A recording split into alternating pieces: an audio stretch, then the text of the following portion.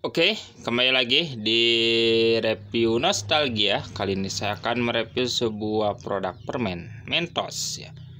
Mentos Min ini sudah ada sejak lama ya. Pasti eh, bagi anak 90-an sudah tak asing lagi dengan Mentos ini. Ya. For in Indonesian only ya. Hanya dijual di Indonesia. Jadi punya pabrik sendiri ya sepertinya ya ini Mentos Min ya.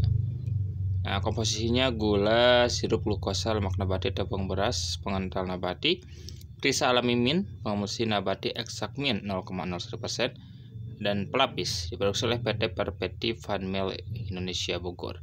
Di bawah lisensi Pan Perpeti Mele Benelux Netherlands. Oh, pabrik aslinya Belanda ya ada websitenya www.mentos.com kembang gula rasa min berat bersihnya 29 gram.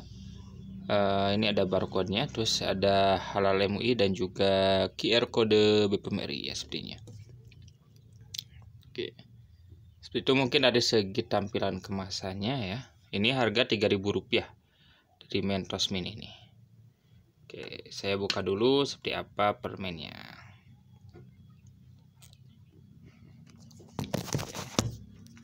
jadi memang untuk model permen ros ini banyak kayak jenisnya. Ya.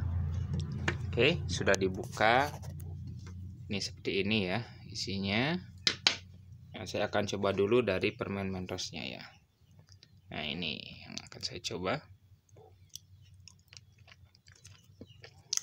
Apakah masih sama rasanya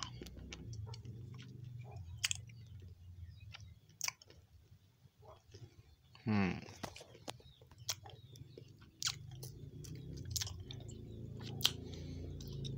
Rasanya memang masih sama ya dari Mentos Min ini. Tak heran bila permennya bisa bertanding kayak gini. Oke, sekian review nostalgia dari Mentos Min ya. Permennya begitu enak dan cukup memorable banget ya dari Mentos Min ini terutama iklan-iklannya.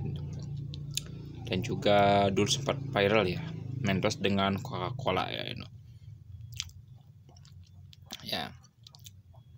Punya ciri khasnya tersendiri dari Mentos ini. Oke? Sekian untuk review nostalgia kali ini dengan Mentos Min ya. Mentos ini memang ada varian lainnya juga mungkin di review di lain hari ya. Untuk varian lainnya Oke, sampai jumpa di review nostalgia lainnya. Bye.